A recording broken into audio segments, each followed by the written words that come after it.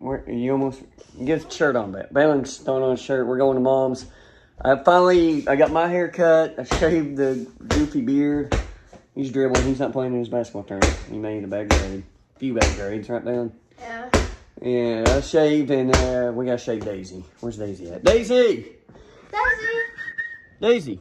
Where's she at? Oh, here she is. Come on, Daisy, you ready to go? Bailey, you ready? It's a little chilly out. I'm gonna throw on my hoodie, actually. I was just trying.